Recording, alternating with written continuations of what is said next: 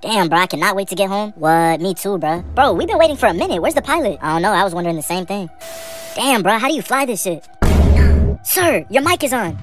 Oh shit, my bad, y'all. Uh, my name is Chase a Bag Mike. Make sure y'all go follow me on Instagram. We're gonna be taking off here shortly once I figure out how to work this thing.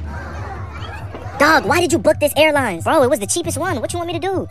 Thank you so much for trusting me to be your pilot. Hey, real quick before we take off though, where the baddies at? Nah, ain't no way I'm gonna make it home safe. I'm gonna tell my mom I love her. That's crazy.